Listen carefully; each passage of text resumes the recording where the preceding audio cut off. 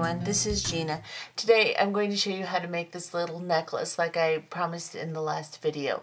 This is just an exercise to get you familiar with crimping and the different things you can do with it. You don't just have to crimp the ends and put your clasps on. You can do little different fancy things with your crimping. And as time goes on, I'll do a couple more videos showing you a couple other things. But right now, I just want you to get familiar with some of the items I showed you in the last video and um, show you how to do this necklace in particular so that you can kind of get an idea that you can use crimp beads a little bit more creatively than just crimping your ends. So let's go ahead and look and see what we need for this okay. project. What you will need for this project is totally dependent upon what you want to use. I'm going to show you what I'm using but you do not have to use the exact same thing I'm using. Just use basically the same type of stuff. So what we're going to do for this project is I'm going to use some 8 seed beads for spacers. Now if you have a tiny little pearl you'd rather use, or if you have little metal beads that you want to use, use those. I'm using an 8 seed bead. It's a Toho galvanized silver tone and then I'm going to use some little 11 tiny beads to make the little portion around my um, crystal here. Now, like I said, use your imagination and do a little bit different. This is just supposed to show you how to do the technique more than anything else. So after you have your little spacer beads, an 11-0 and an 8-0 is perfect. If you that's what you want to use, use those. Then you'll need a crystal. This is a large drop crystal. I believe it's like, oh, 22 millimeters by 12 across, something like that. And I will make sure and put down the size in the captions. It's just right now I haven't measured it and I don't remember what it was. But it's just a large drop crystal and it's top drilled. And what I mean by top drilled is that the hole is literally through the top here. So they drilled a hole through the top of the bead. Some of them will have a hole through the bead vertically like this. That will not work with this project. It needs to be a top drilled bead and it doesn't necessarily have to be the same shape and size as mine, but it has to be top drilled for this. And this is just kind of a little silvery tone, smoky color um, crystal. Then, and you can get these in Swarovski, you can get them in Chinese crystal, you can get them all over the place. So you'll just look for a teardrop shaped crystal and that's what you, you can use, like I said, any shape or size.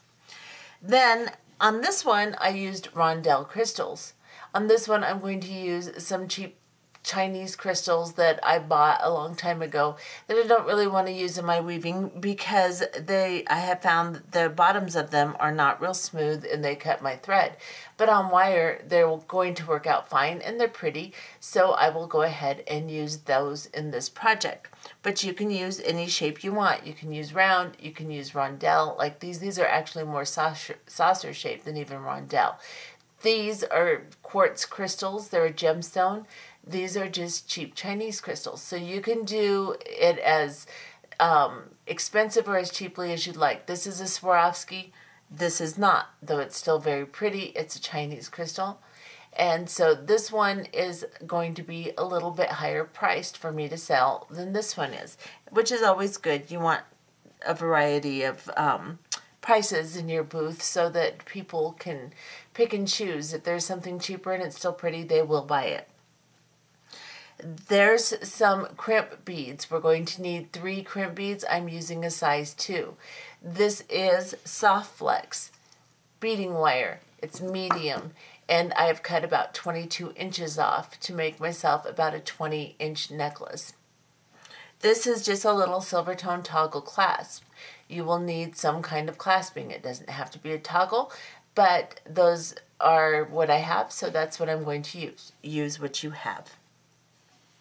Now, if you're not familiar with crimping, if you're not familiar with anything to do with stringing, watch my previous video called Stringing Basics. I show you how to use in detail crimp beads and I talk specifically about different sizes and wire types so that you can get your basics and know exactly what's going to work together.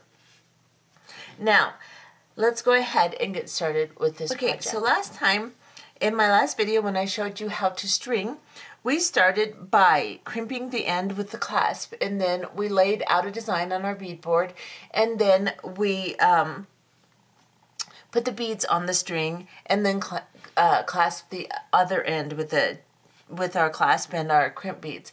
This project, we're not going to do that. This project, we're going to slide the crystal on first. So just slide it onto your wire that you have pre-cut and find the center by putting the two ends of your wire together and find the very center and just put your bead there. It may move around a little bit while we do this next step. Don't worry about it. We will have an opportunity to straighten it back up. Now we're going to take three of our 11 seed beads on one wire, one side. So I'm going to call this the middle. So this is going to be one side and this is going to be the other side. With my right hand, I'm just going to pick up in my right wire, I'm going to pick up three 11 seed beads and drop them down to the crystal. And then I'm going to pick up my left um, wire and I'm going to pick up three 11 seed beads and drop them down to the crystal, just like so. Now I am going to recenter this. So I'll put my two ends together and just make sure my crystal is in the middle and then I will pick up one of my size 2 crimp beads and I will slide both wires down into the center of the crimp bead. So I'm just going to, you may have to do one at a time, sometimes you can get them both at the same time, just depends on how cooperative it's being. So I got both of them through. And then I'm just going to slide it down to the center of my project here.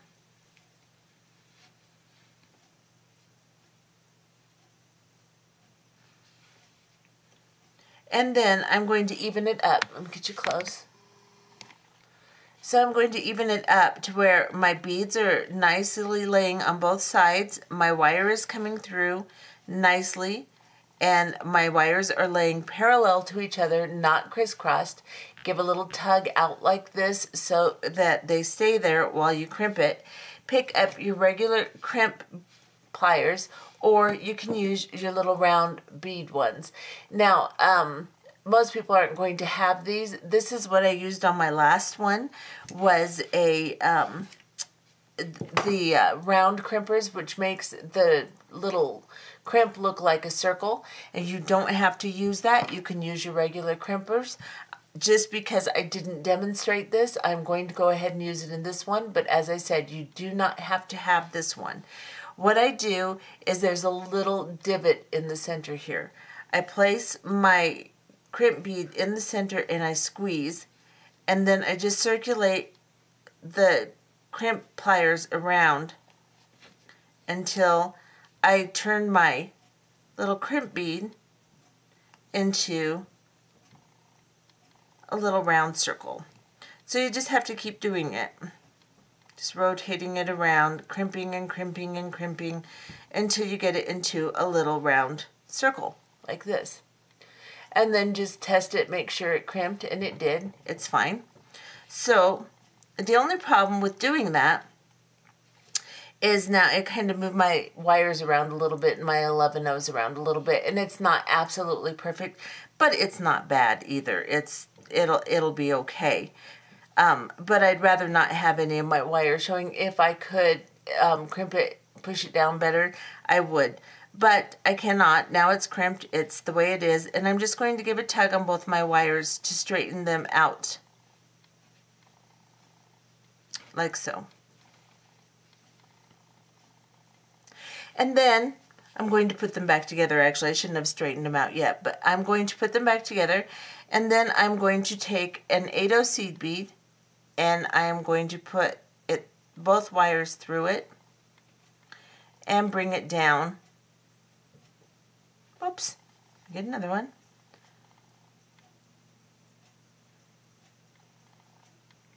Come here, bead. It wants to be picky. There we go and I'm going to bring it down to the center here. So now I've got my three 11 O's. I've got it crimped and then I brought down another bead here. And then I want to separate my wires out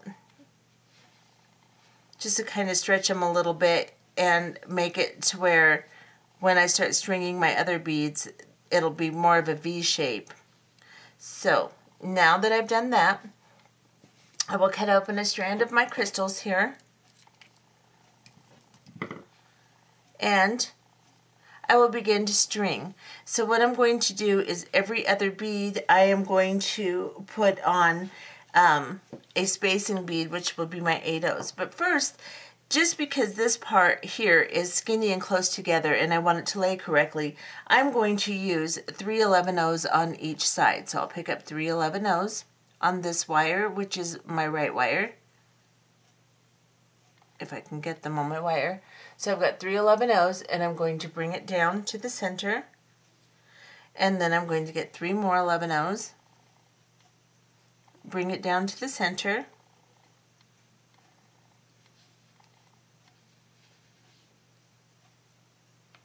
Even everything up. And that's what you should have. I'll show you. Just like that.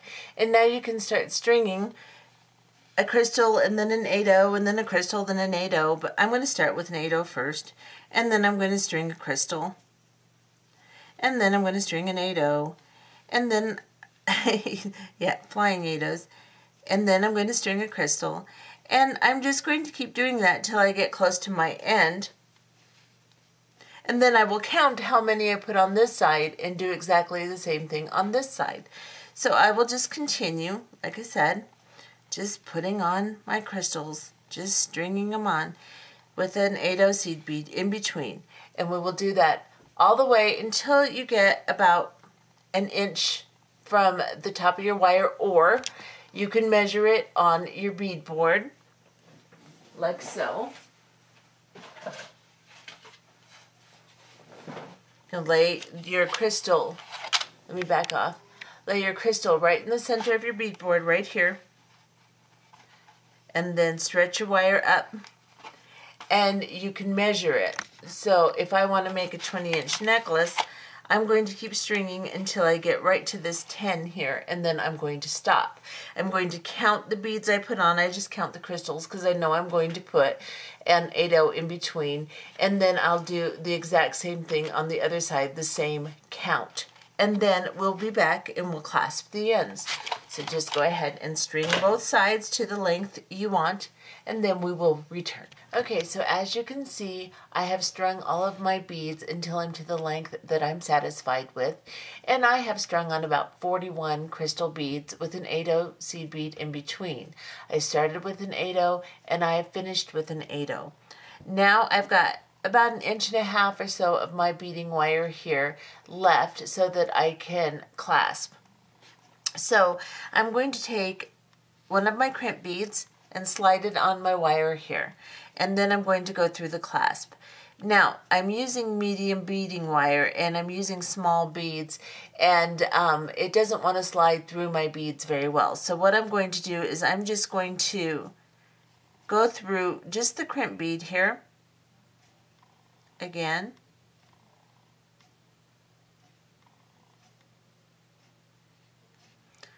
and pull it through, push it through. Well, actually it went through my 8 so that's good. Let's get you close so you can see what I've done.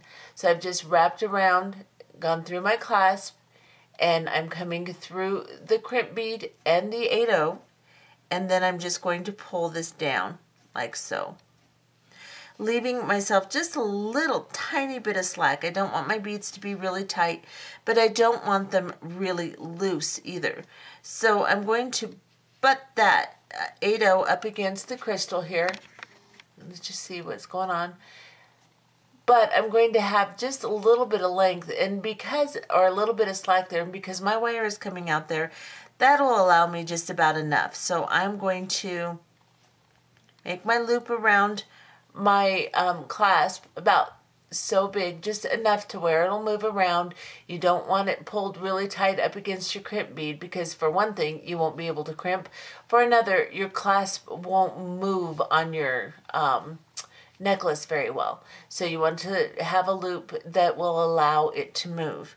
And then you want to line up your crimp bead, hold on to it like so, and now I'm going to use my regular crimp pliers and I'm going to put the flat side towards my beads and in the first or the one that's furthest back, this little divot here, you can see on one side it has like a little crinkle and on the other side it's just a round divot.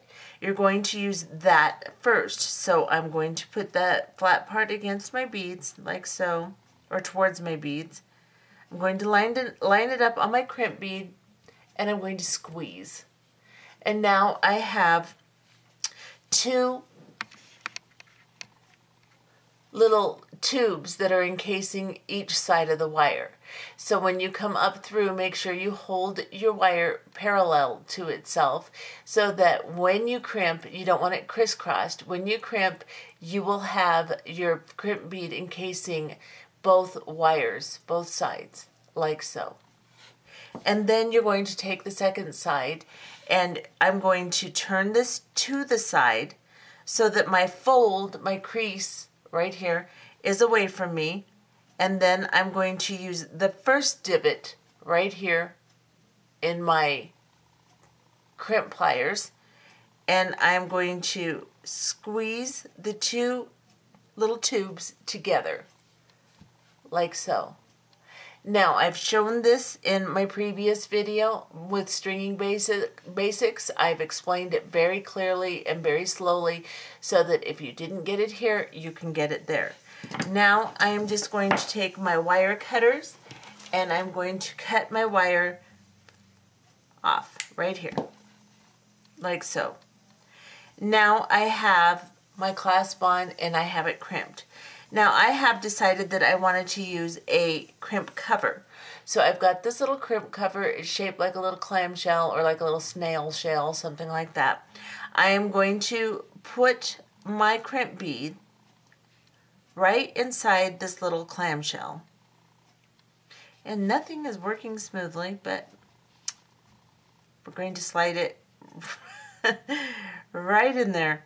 Oh, come on. Okay. There we go. So you can see, after a little bit of struggle, I have got my crimp bead down into the bottom of the U part of the shape of the um, clamshell here. Just like so. Then I'm going to take my flat nose pliers and I am just going to squeeze this clamshell shut. Now you can see there's a little crease there so I am going to take my pliers and I'm just going to go over the top of it gently while pushing forward and down and close that so that it closes like a snail closes or like a roly-poly like so. You'll always see a bit of the crease. That's the nature of it, but you want to close it as much as you can, like so. Now my end is finished really pretty. You can't see my crimp bead, and everything looks really nice. So that's how you will end your project. So now what we're going to do is we're going to count exactly how many beads are on this side and we're going to do the exact same thing on this side. I've started with my 8-0. I have my three little 11-0s that we did in the beginning of the video and I just left it on there and I have my 8-0 seed bead to start my stringing and then I will just start picking up my crystals and my 8-0s and I will just continue to string them until I have exactly the same amount on this side as I do on this side and then I will do the same exact thing with this part of the clasp and I will use my crimp bead and my clamshell and then we will be back. Okay, so I have done my other half, I'll show you. And this is what it looks like. Now, I want to make sure that this side is nice, that there's not a bunch of buckling space here or anything, because in this particular design, if there's any slack down here, it's not going to hang right. So you want to make sure that it looks really nice, that both sides are exactly the same, and they are. And now I have slid my crimp bead on. I put my wire up through my clasp, just like on the other side. Get close to you here. And I want to make sure that the loop on this side is about the same size as the loop on this side. So this one's a little smaller, so I'll just pull my wire a little bit tighter, ensuring that the 8 is still like right on top. Make sure that uh, right on top of the crystal here, make sure that the crimp bead is right on top of the 8 and I'm just adjusting the size of my loop. I want to make sure it's about the same size as the other side. Otherwise, you'll have an uneven amount. And that's about the same size now. Now, I just want to make sure that my wire is running through parallel to itself. So, now that it's through, I want them to lay side by side. And again, I will take my crimp bead and I will go to this furthest back divot on it and I will squeeze. And now I have encased both of my ends of my wire in two little tubes like so. Now I'm going to turn this to the side so that my little crease is away from me or towards me. Either way, it doesn't matter. Pick up my crimp beads or my crimp pliers and I will again squeeze my crimp bead in the first divot and squeeze the two little tubes together.